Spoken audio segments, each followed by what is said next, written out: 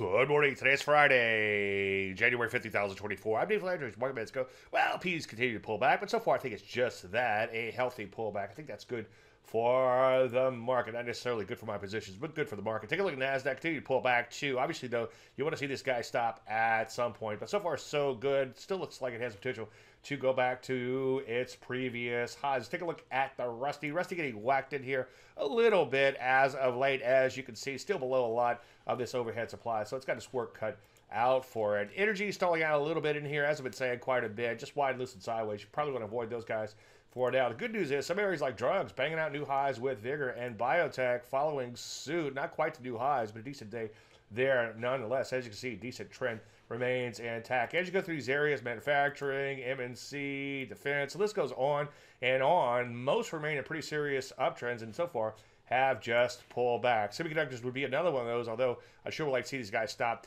at some point. I think that's enough pullback for now. So what do we do? Well, now the market's pulling back.